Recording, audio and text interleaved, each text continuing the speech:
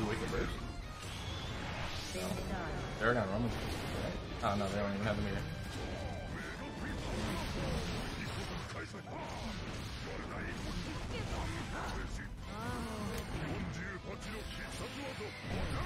Oh.